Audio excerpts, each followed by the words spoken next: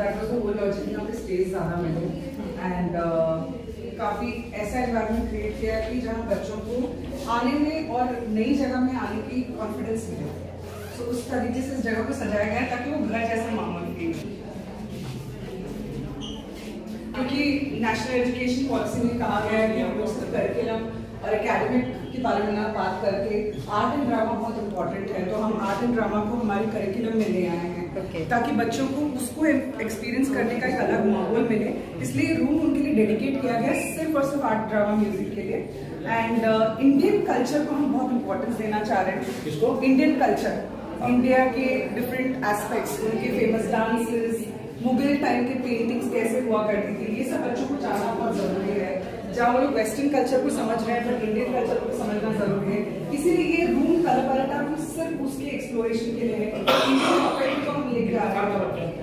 हर बच्चे सब सारे बच्चे हमारे पास एक से छह तक के बच्चे हैं। बच्चे सबको हम लोग केटर करते हैं। यही रूम है इधर आओ।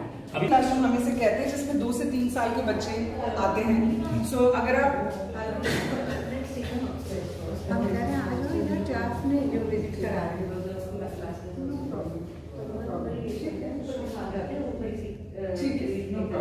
वी हर चीज़ सस्टेनेबिलिटी इंपॉर्टेंट है।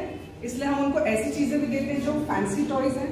कुछ ऐसी चीज़ें देते हैं जो वेस्ट से बनाई गई हो ताकि उन्हें समझ में आए कि सस्टेनेबिलिटी से और सिंपल चीज़ों से भी आप खेलना सीख सकते हैं। ये बहुत इंपॉर्टेंट है। आज के जमाने में महँगी टॉयज खाली ज़रूरी नहीं है। और यहाँ पे अगर आप देखें तो यू नो पुराने वुड के टुकड़ों से हमने चीज़ें बनाई हैं। जो कचरे में एक्चुअली फेंकी जाती है। ये आप लोगों ने बनाई है? ये हम बच्चों से बनवाते हैं।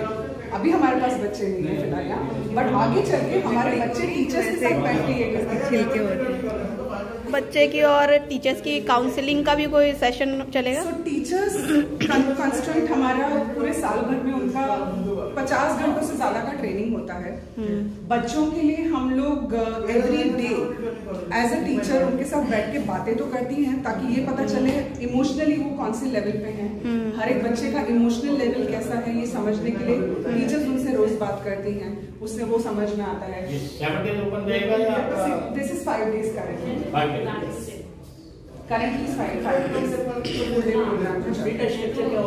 स्ट्रक्चर वगैरह ऐसा ही सर हम ये लास्ट में रखते हैं बिकॉज़ ये हर एक स्कूल के लिए अलग होता है।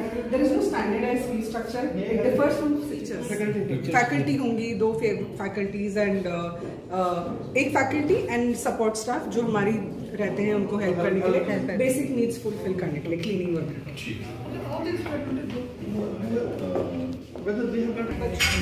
basic road safety rules road safety के लिए। हाँ रोड सेफ्टी रूल्स पता चले सो उसमें वर्किंग लाइफ ट्रैफ़िक सिग्नल है ताकि वो जब रेड ग्रीन हो तो उन्हें पता चले कब गाड़ी रोकनी है कब नहीं रोकनी है। लोग चल के भी मेन रोड में ये चीज़ें सीख सकें।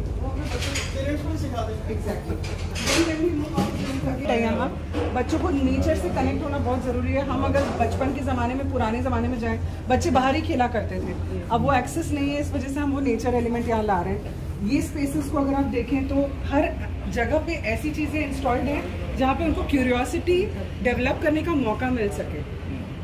तो यहाँ पे वो लोग डिफरेंट चीज़ें डाल के एक्सपेरिमेंट करेंगे कि वो कैसे पास होता है। कहाँ निकलता है एग्जैक्टली कैसे पास ये सारी चीज़ें हम सस्टेनेबल मटेरियल से बनाते हैं ताकि उनको ये भी पता चले कि वेस्ट मटेरियल कैसे यूज़ कर सकते हैं हम। वहाँ पे हम नहीं देख पाएँगे Yeah, uh, would you enroll foreign faculty to now we don't have any foreign faculties. Most of our uh, teachers and educators are local Indians, but we are also thinking of maybe starting an exchange program. That's something also which we can discuss with the embassy that we start an exchange program where some of our faculties from other countries can come to India for a short period of time, and from India also some of our teachers can go to other countries and you know we can share knowledge and share experiences. Like Paul mentioned, like Paul mentioned, we already have this uh, program internally inside Liver, uh, but it will be a good idea for us to also have a exchange program with, with other countries also. Uh, one more, uh, connected with this language. In which language you will be uh, teaching here? Because lang- their language is a big issue, you know, in so, Europe. so right now, I think our pedagogy is all in English. Okay. Yeah. So for right now, our medium of uh, education is in English. Okay, fine. Thank you. Sir, uh, what child safety and security measures in your school? I think uh, our pedagogy leader would be the best person to Yeah. address this. Sure. Hello. Yeah. Uh, so child safety and security, if you would have uh, taken a walk through with the unit, we've ensured that the safety guards are installed.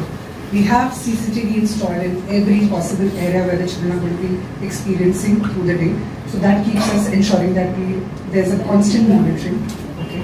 And uh, we follow a policy of no strangers walking into the unit. Every staff that walks into our unit have undergone a serious level of trainings. They have the POXO and the POSH compliance done because that's very critical in today's scenario. After these checks are done is where we hire a staff, whether it's a support staff, whether it's an educator, anybody. So these are some of the safety guidelines that we follow. Thank you. Uh, sir, National education policy, they, in fact, it's a golden moment, I would say, for us in India because we were always surviving in uh, a market which was not regulatory at all. And now with NEP, we have very, very beautiful guidelines which has helped everyone in India to have a quality education. Uh, it's I feel very proud to say that we are completely aligned with national education policy. So it's an added advantage for us uh, rather than impact because uh, this will help us uh, to tell our parents that one, uh, whatever children are experiencing in, at DIBA is going to help them to have a smooth transition to the schools. So that's a complete alignment what we have with DIBA pedagogy and the national education policy. No, I'm saying they will start pre-class, preschool class in Yes. schools itself. So then, how will you? I was what is the age group you are looking at? So we start from one to six years. So it's a smooth transition. The moment the child turns six, they pass out from DIBA, they go to the higher grades, which starts at grade one, which is six. So our age criteria is also compliant with what national education policy says. Three years is the entry for nursery, and uh, that's what is recommended in the foundational years. sir, Different types of models, three fee structures, and uh, like you see in Delhi, uh, the rentals are quite high. The, uh, we also, as you see, our units are quite big, and we need enough space. So obviously the rentals will be high, and so then we created like three fee pricing structure. I think uh, we start from 1.7 and we go up to 3.5. So, so some of the units which are in uh, Pune, for example, have a slightly lower fee structure, but big cities like Bangalore, Mumbai,